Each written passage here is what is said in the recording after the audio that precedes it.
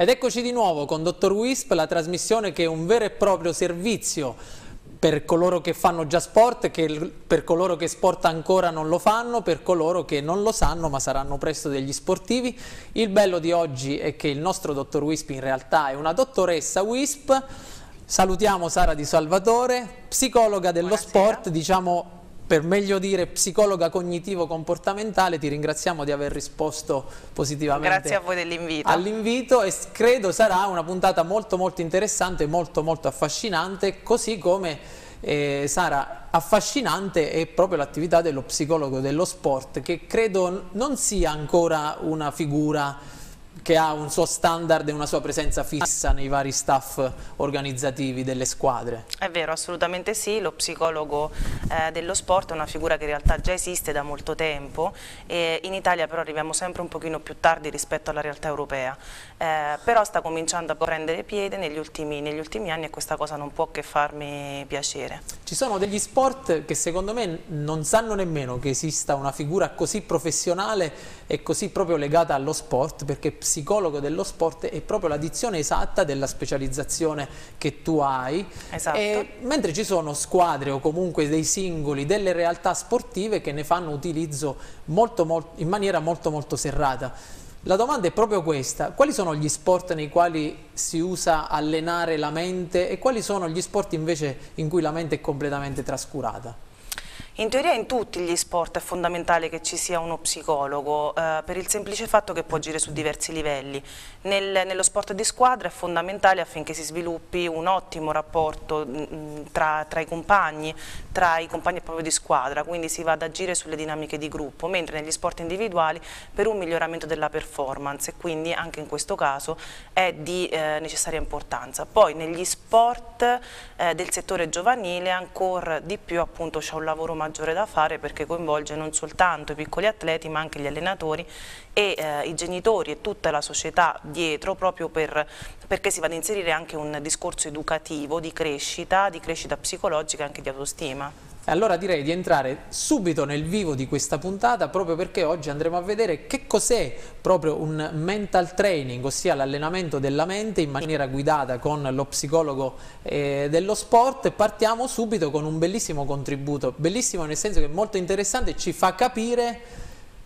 cosa sono disposti a fare i grandi campioni, ossia quanto sono disposti a mettersi in gioco quanto sono disposti a sacrificarsi? Beh, la differenza tra un atleta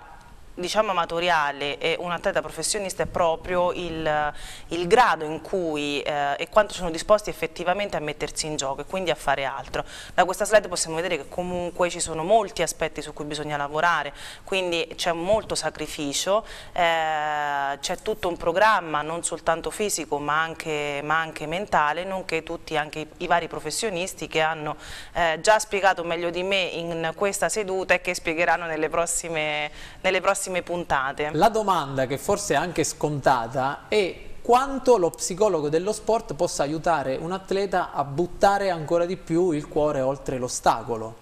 Moltissimo, moltissimo perché a volte ci sono dei pensieri negativi che si instaurano e che essendo pensieri la maggior parte dei quali automatici non si riescono a riconoscere, quindi lo psicologo diciamo, va ad agire proprio su quei punti là per sbloccare in un certo senso l'ingranaggio. Esattamente, proprio perché mh, esistono delle tecniche comunque sia già sperimentate e comprovate nei quali proprio c'è un programma di allenamento mentale di cui tu ci hai portato anche un semplice esempio. Assolutamente sì, esistono molte tecniche che possono andare da quelle più corporee a quelle più cognitive, quindi si può agire con uh, mh, semplici uh, tecniche legate proprio allo schema corporeo, quale può essere il rilassamento progressivo di Jacobson, l'ipnosi o il training autogeno, ad altri legati proprio al pensiero affinché uh, diciamo, diventa proprio un, uno step educativo, una fase educativa per superare i propri limiti, quindi non fermarsi quando il corpo dice stop ma andare oltre. Può capitare che un atleta, devo dire in questo senso la, la mia esperienza mi, mi, spingerebbe a pensare di sì, che un atleta sia capace naturalmente di indurre certi processi mentali ed arrivare a una concentrazione, una capacità di esprimersi anche da solo? Sì, sì, sì cioè chi riesce ad arrivare da solo non necessariamente c'è eh, bisogno dello psicologo, è un pochino come il fisioterapista, non necessariamente è necessario il fisioterapista, ma eh, subentriamo nel momento in cui c'è un blocco mh, oppure dove non si riesce ad andare, non si riesce a esprimere la propria potenzialità, allora a quel punto è il caso di fermarsi e capire eh, cosa si può fare per aiutare questo atleta. Ovviamente si tratta sempre di un lavoro d'equipe, cioè lo psicologo dello sport non può lavorare da solo senza il, la collaborazione soprattutto dell'allenatore. Ed ecco che noi andiamo adesso a toccare un tasso importante perché questa è una trasmissione che abbraccia tutti gli sport, gli sport di squadra, gli sport individuali ed è per questo motivo che io credo, ma te lo chiedo, se c'è una differenza tra uh, l'intervento quindi dello psicologo dello sport per quanto riguarda gli sport individuali e gli sport di squadra. Sì, nello sport di squadra si lavora su due livelli principalmente, che è quello della squadra in toto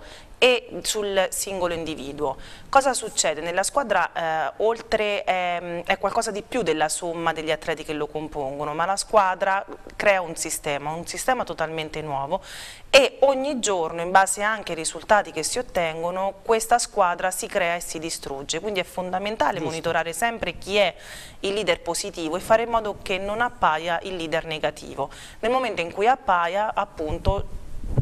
c'è bisogno di andare ad intervenire proprio con la squadra. La domanda è, però è questa, cioè che cos'è un leader positivo e che cos'è un leader negativo all'interno di una squadra? Allora, il leader positivo e il leader negativo generalmente si vedono negli spogliatoi. Il leader positivo è quello che trascina la squadra, se vogliamo paragonarlo un pochino al capitano di una squadra di calcio, eh, che quindi è caratterizzato da emozioni positive, è motivante per tutti gli altri atleti. Che magari sa anche trasmettere queste emozioni positive alla squadra. Ah, esattamente, quindi li trascina, è proprio un trascinatore in positivo. Il leader negativo invece la maggior parte delle volte è inconsapevole, quindi non è consapevole di creare un danno all'interno della squadra perché è portatore un pochino di malessere, nel senso che è colui che è un po' più sfiduciato, colui che è più pessimista e quindi automaticamente tende ad, ad attrarre a sé prima i componenti della squadra più deboli e successivamente diciamo, si ha proprio un declino della squadra. Ma bisogna lavorare esclusivamente sui, sulle tipologie di leader o è importante che il lavoro dello psicologo dello sport vada su tutti i componenti della squadra? Su tutti i componenti della squadra, il leader positivo e il leader negativo non viene scelto, non viene designato, ma nasce da sé quindi eh, è la squadra che lo riconosce in quanto tale e non, non è né l'allenatore né la dirigenza né lo psicologo che designa un determinato atleta appunto come leader. Quindi si lavora sempre con tutta la squadra e in casi specifici dove ci sono difficoltà si lavora sul singolo individuo. Ma lavorando con, o, com come dici, sulla squadra, si lavora sulla squadra nel senso una squadra riunita oppure la seduta dello psicologo dello sport va fatta singolarmente su tutti i componenti? Componenti? Entrambe, entrambe le cose, il, comunque quando si tratta di dinamiche di gruppo si lavora con tutta la squadra insieme ma compresi anche gli allenatori, ci possono essere sedute di gruppo dove anche la società viene invitata a partecipare e poi successivamente si possono fare dei lavori specifici che possa essere, non so, mi riferisco ad esempio ad una squadra di calcio, il portiere oppure in base ai ruoli che, eh, che gli atleti rivestono all'interno della, della, squadra. E quindi si può lavorare diciamo, un lavoro multidisciplinare e anche su molti livelli. Se volessi andare nel particolare, visto che tu hai anche un ruolo di psicologa dello sport nella scuola di calcio d'elite di Tagliacozzo, hai avuto nella tua esperienza personale e quindi professionale dei risultati tangibili con i ragazzi, con l'intervento da esperta? Sì, sì, soprattutto quando c'è un momento di, di, stallo, quindi quando la squadra si trova in un momento particolare che è fisiologico oltretutto il, il calo e, e, in quel momento c'è bisogno proprio di una persona esterna che riporti eh, un pochino, che sollevi un pochino gli stati d'animo e lì è fondamentale. Poi nelle scuole calcio, nei settori giovanili è fondamentale lavorare anche sulle singole problematiche dei bambini che spesso si trovano un pochino ehm, Ehm, come dire, oppressi dal, da diverse eh, informazioni che vengono date o dall'allenatore oppure dai genitori oppure dai compagni di, di squadra. Ovviamente non possiamo addentrarci adesso nel particolare, abbiamo dato un bel messaggio per quanto riguarda lo sport di squadra, direi di affrontare la problematica per quanto riguarda lo sport individuale. È più problematico e meno problematico Sicuramente è meno problematico perché il rapporto è uno a uno, quindi si lavora eh, in maniera individuale con, con l'atleta e quindi è più facile sia a livello organizzativo sia a livello comunque di sistematizzazione di un programma specifico, anche perché in questo caso viene fatto proprio un programma di mental training eh, che prevede appunto diverse, diverse fasi e queste fasi vengono sviluppate mano a mano, ovviamente si parte da quella in cui si è più carente, qua possiamo vedere appunto che si lavora sì. sul goal setting, quindi sulla definizione degli obiettivi, sulla pratica mentale e il self-talk, sul controllo delle dell'arousal, la gestione delle emozioni e l'allenamento della concentrazione, nonché poi di comune accordo e generalmente in una seduta eh, insieme all'allenatore nelle strategie delle preparazioni, ecco, preparazione della gara. questa è la domanda che volevo farti, ossia l'intervento dello psicologo dello sport serve a saper organizzare e quindi a dare di più in allenamento o può essere utile e direi forse anche indispensabile ad approcciare la gara per dare il massimo proprio nell'evento agonistico? Il, eh, si chiama mental training proprio perché è un allenamento delle abilità mentali, quindi sarebbe anche eh, stupido provare una nuova tecnica in gara. L'allenamento ci serve proprio per mettere in pratica e per capire effettivamente di cosa abbiamo bisogno e se quella determinata tecnica funziona, un pochino come fa l'allenatore nel preparare appunto gli, gli, atleti. Quindi mental training proprio perché è una, un allenamento delle abilità mentali che vanno fatte prima in allenamento e successivamente si vede il risultato appunto nel, nella gara. Come per quello che abbiamo detto eh, in merito alla, alla, gestione della squadra, eh, lo psicologo dello sport credo possa essere utile se ci sono dei problemi, come dicevi, dei blocchi mentali per quanto riguarda l'atleta singolo. Possiamo fare un esempio di quello che può essere un blocco mentale in un atleta di una disciplina qualunque e che comunque possa poi inficiare il risultato agonistico? Certo, come dicevo all'inizio, si possono instaurare dei pensieri negativi e qui mi rifaccio un pochino alla mia pratica da clinico, eh, un condizionamento, quindi non so, una determinata cara che condiziona eh, l'atleta, un esempio banale, eh, se prendiamo Federica Pellegrini c'è stato un periodo della sua vita in cui sì. un eh, una determinata gara le creava di, eh, problemi, quindi diciamo ha condizionato quella problematica nello specifico di quella gara, perché poi casomai in basca corta o in basca vasca lunga o i 200 o i 100 casomai andava senza nessun problema. Quindi questo può essere un esempio di blocco mentale, un altro può essere il, uh, il ritiro oppure Ma una... anche l'approccio alla gara, cioè la difficoltà di affrontare uno sforzo così importante. Ci sono ancora tanti atleti che mi dicono io la notte prima della gara non dormo. Eh sì, quello là è un problema di attivazione, l'attivazione proprio che eh, quando gli atleti dicono oddio sento un pochino di ansia, non è che debba essere estremamente negativa, però è soggettiva. C'è chi eh, ha bisogno per una massima performance di un'ansia abbastanza elevata prima della gara, che invece ha bisogno di essere totalmente tranquillo.